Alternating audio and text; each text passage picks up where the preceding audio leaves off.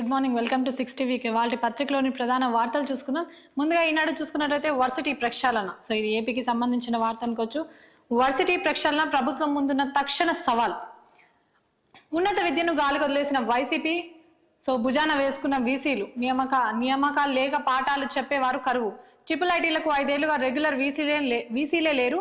సంస్కరణే రాష్ట్రంలో ఉన్నత విద్యకు మనుగడ. గత ప్రభుత్వంలో జరిగిన మరొక అక్రమం అని కూడా ఇది చెప్పుకోవచ్చు. సో ఇక్కడ చూసుకుంటే ఉప ముఖ్యమంత్రి పవన్ కళ్యాణ్కు అమరావతి రైతుల నీరాజనం. పూల బాటగా మారిన సీడ్ యాక్సెస్ రహదారి సచివాలయానికి వెళ్తుండగా అపూర్వ స్వాగతం. ప్రమాణ స్వీకారం చేసిన అనంతరం ఉప ముఖ్యమంత్రిగా మొదటిసారిగా సచివాలయానికి వెళ్ళిన పవన్ కళ్యాణ్కు అక్కడ రైతులు చేసిన ఘన స్వాగతానికి సంబంధించి ఒక ఇమేజ్ కూడా మనం ఇక్కడ చూసుకోవచ్చు. ఇక మరో పత్రికలోని ప్రధాన వార్తలు చూసుకుంటే పోలవరానికి సంబంధించి సీఎం చంద్రబాబు ఇప్పటికే సమీక్ష పరిశీలన అయితే చేశారు. సో దానికి సంబంధించి మరిన్ని అప్డేట్స్ కూడా మనకి ఇక్కడ ఉన్నాయి. జగన్ నిర్వాహకంపై జనంలోకి పోలవరం ప్రాజెక్టును దెబ్బతీసిన రివర్స్.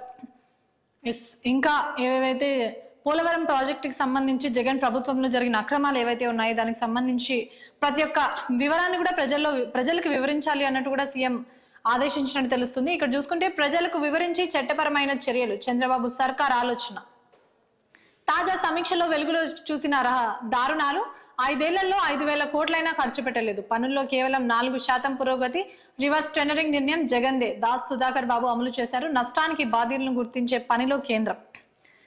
ఎస్ గత ఐదు సంవత్సరాలు కనీసం ఒక పది శాతం అని చెప్పుకోవడానికి కూడా లేకుండా కేవలం నాలుగు శాతం మాత్రమే పనులు పురోగతి చెందినట్టు కూడా తెలుస్తుంది పోలవరానికి సంబంధించి. ఇక మరొకసారి చూసుకుంటే ఉప ముఖ్యమంత్రి హోదాలో మంగళవారం తొలిసారిగా సచివాలయానికి వచ్చిన పవన్ కళ్యాణ్.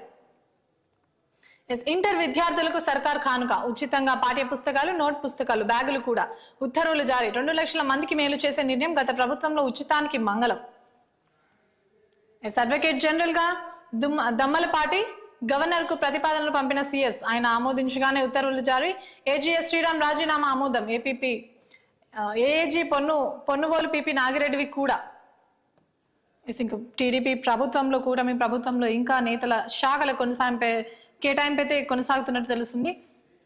ఎస్ బాబు సర్కార్లో జగన్ చొరబాటు కీలక శాఖల సారథులుగా ఇంకా పాత అధికారులే. వారిని మార్చడంపై దృష్టి పెట్టని చంద్రబాబు సందట్లో సడేమియాగా పోస్టింగ్ల జాతర. మధ్యస్థాయి అధికారులుగా జగన్ భక్తులు రెండు వేల పద్నాలుగు పంతొమ్మిది నాటికి టెక్నిక్ వాడుతున్న వైసీపీ. అధికారులు సిబ్బంది ద్వారా సమాచారం సేకరణ వక్రీకరించి రోత పత్రికలో అడ్డగోలుగా కథనాలు. జగన్ అధికారంలోకి రాగానే అందరిపైన నిఘా ఇప్పుడు ప్రభుత్వంలోకి ఆయన మనుషులు చేరిక.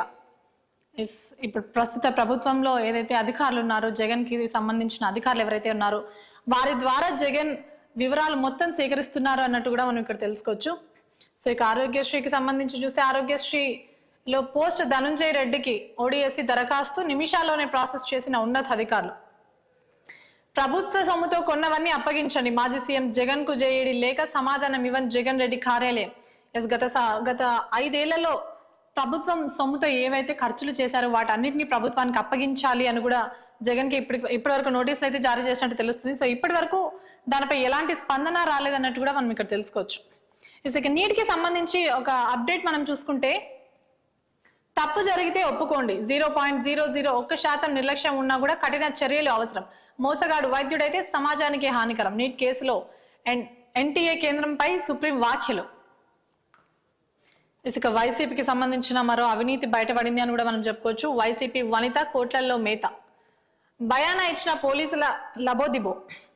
పనిని బట్టి రేటు కట్టిన వైనం. ఎవరు ఎక్కువ ఇస్తే వారికే పని. ఛార్జీ మెమోలు రద్దుకు కౌంటర్లు ఎన్నికల ముందు రెచ్చిపోయి మరీ భారీగా దుండుకున్న మాజీ హోం.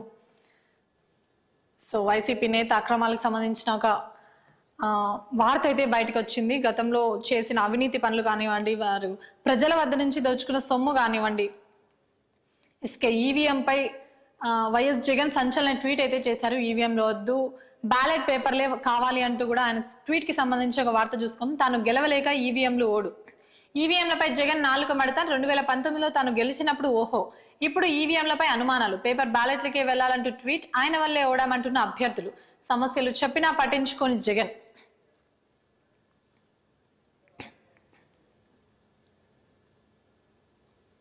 ఎస్ ఇక సాక్షిలో చూసుకుంటే టీడీపీ నేతల మాటలకి సంబంధించిన మనం ఒక వార్త చూసుకోవచ్చు.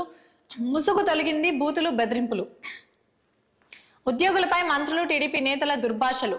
పచ్చ చొక్కా వాళ్ళు వస్తే కుర్చీలు వేసి టీ ఇవ్వాలన్న మంత్రి అచ్చన్న. అధికారులు ఉద్యోగులు నిర్లక్ష్యంగా ఉంటే చర్యలు తప్పవు. సో చెప్పింది చేయకపోతే ఏం జరుగుతుందో చెప్పాల్సిన పని లేదని హెచ్చరిక. నర్సీపట్నం నడి రోడ్డులో మున్సిపల్ అధికారులపై అయిన దుర్భాషలు. స్పీకర్ అవుతున్న అసెంబ్లీలో నిలబెడతానంటూ వచ్చిందులు చిందులు పోలీసులను గత ప్రభుత్వం తొత్తులుగా అభివర్ణించి హోంమంత్రి అనిత. ఎస్ వైసీపీ అభ్యర్థులు కానివ్వండి అధికారులు కానివ్వండి వైసీపీ ప్రభుత్వంలో పనిచేస్తున్న అధికారులు ఎవరైతే కంటిన్యూ అవుతున్నారో వాళ్ళపైన టీడీపీ నేతలు దుర్భాషలాడుతున్న వైనాన్ని మనం ఇక్కడ చూసుకోవచ్చు. ఎస్ ఇక బ్యాలెట్ పేపర్ పైన వైఎస్ జగన్ చేసిన ట్వీట్కి సంబంధించిన మరికొన్ని కామెంట్స్ కూడా మనం ఇక్కడ చూసుకోవచ్చు. బ్యాలెటే బెటర్. అభివృద్ధి చెందిన ప్రజాస్వామ్య దేశాల్లో బ్యాలెట్ ద్వారానే ఎన్నికలు దేశంలో న్యూ బ్యాలెట్ పద్ధతిలో ఎన్నికలు నిర్వహించాలి. సో జగన్ కామెంట్స్ ఇవి. మరిన్ని కామెంట్స్ చూసుకుంటే ఈవీఎంలను పక్కన పెట్టాలి. అప్పుడే ప్రజాస్వామ్యం నిషేధంగా మనగలదు. ఎక్స్లో వైఎస్ వైఎస్ఆర్ అధినేత జగన్ పోస్ట్.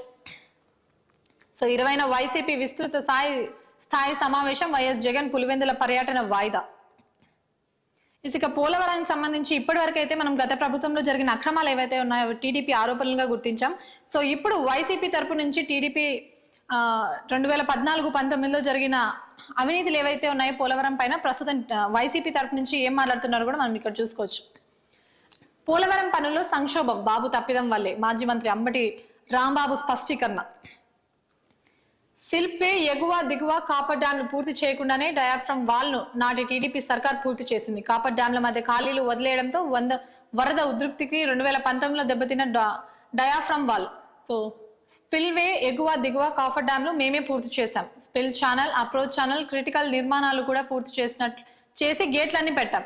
ఎంత వరద వచ్చినా ఆపరేట్ చేసి పరిస్థితికి ప్రాజెక్టును తీసుకెళ్ళాం తప్పులు ఒప్పుకొని ప్రాజెక్ట్ పూర్తిపై చంద్రబాబు దృష్టి పెట్టాలంటూ కూడా అంబటి రాంబాబు సూచించారు. ఎస్ ఇక వెలుగులో చూసుకుంటే సర్టిఫికేట్ సరిపోదు స్కిల్ ఉండాలి. రెండు వేల కోట్లతో అరవై ఐదు ఐటీఐలను తీర్చిదిద్దుతామంటూ కూడా సీఎం రేవంత్ రెడ్డి కామెంట్ చేశారు.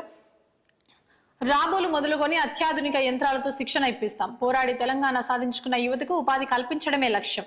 ప్రస్తుత విద్యా విధానం నలభై ఏండ్ల కిందటిదే. నేటి పరిస్థితులకు తగ్గట్టు ఐటీసీల ఏర్పాటు. విద్యార్థులు ఐఐటీలో చేరాలి ఈ శాఖను నేనే స్వయంగా చూసుకుంటా. మల్లేపల్లి ఐటీఐ ఐటీఐలో అడ్వాన్స్ ట్రైనింగ్ సెంటర్కు సీఎం రేవంత్ రెడ్డి శంకుస్థాపన చేసిన ఇమేజ్ని మనం ఇక్కడ చూసుకోవచ్చు. ఇక ప్రస్తుతం తెలంగాణ రాష్ట్రంలో సంచలనంగా మారిన విద్యుత్ ఒప్పందాల కొనుగోలు ఏవైతే ఉన్నాయో దానికి సంబంధించి నిన్న కమిషన్ విచారణ విచారణ అయితే జరిగింది. దానికి సంబంధించిన కొన్ని అప్డేట్ పాయింట్స్ మనకి ఇక్కడ ఉన్నాయి. ఛత్తీస్గఢ్ కరెంట్ ఒప్పందానికి ఈఆర్సీ ఆమోదం అబద్ధం. సో కేవలం ప్రపోజల్కే ఒప్పుకుంది. విద్యుత్ జేఏసీ అధ్యక్షుడు రఘు తెలిపిన కామెంట్ ఇది. సో వెళ్ళి ఒప్పందం మేరకు ఛత్తీస్గఢ్ కరెంట్ కూడా సప్లై చేయలేదని వెల్లడి గత బీఆర్ఎస్ ప్రభుత్వ చర్యలతో ట్రాన్స్కో జైన్కో జైన్కోకు ఎనభై ఒక వేల కోట్లు అప్పులు. సో పవర్ కమిషన్ ముందు ఇరువురి వాదనలు. సో జస్టిస్ నరసింహారెడ్డి రియాక్షన్ పై ఉత్కంఠం ఈఆర్సీ అనుమతి ఉందన్న విచారణే అక్కర్లేదన్న కేసీఆర్. ఆయన లేవనెత్తిన అంశాలను వాస్తవాలతో సరిపోల్చుతున్న కమిషన్.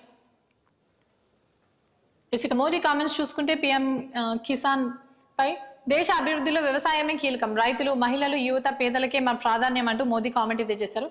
పిఎం కిసాన్ స్కీమ్ పదిహేడవ విడత నిధులు రిలీజ్. తొమ్మిది పాయింట్ ఇరవై ఆరు కోట్ల మందికి రైతులకు ఇరవై వేల కోట్ల లబ్ధి. వారణాసిలో పిఎం కిసాన్ సమ్మన్ సమ్మేళనంలో ప్రధాని స్పీచ్. సో గంగా హారతిలో పాల్గొని ప్రత్యేక పూ- పూజలు చేసిన మోదీ. ఇక నీట్కి సంబంధించి ఇందాక కూడా మనం వార్త చూసుకున్నాం.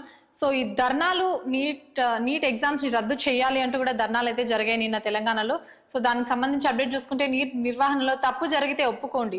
Zero point zero zero one నిర్లక్ష్యం వహించిన దాన్ని సరిదిద్దుకోండి అంటూ కూడా సుప్రీంకోర్టు uh, సూచనలు జారీ చేసింది. నేషనల్ టెస్టింగ్ ఏజెన్సీపై సుప్రీంకోర్టు ఆగ్రహం సకాలంలో చర్యలు తీసుకుంటారని ఆశిస్తున్నామంటూ కామెంట్. తదుపరి విచారణ వచ్చే నెల ఎనిమిదికి వాయిదా. ఎస్ ఇక టీచర్ ప్రమోషన్స్కి సంబంధించి వార్త చూసుకుంటే టీచర్ల ప్రమోషన్లకు హైకోర్టు బ్రేక్ టెట్ను పరిగణలోకి తీసుకోకపోవడంపై అసహనం. ప్రమోషన్లకు సీనియారిటీ జాబితాను రెడీ చేసిన విద్యాశాఖపై సీరియస్ గతంలో ఇచ్చిన ఉత్తర్వులే అమలులో ఉంటాయని పేర్కొంటూ విచారణ క్లోజ్ చేసిన కమిటీ. ఎస్ ప్రధానంగా పత్రికలోని వార్తలు వార్తలోని మరిన్ని విశేషాలు డిబేట్లో చర్చించే ముందు చిన్న బ్రేక్ తీసుకున్నాం. స్టే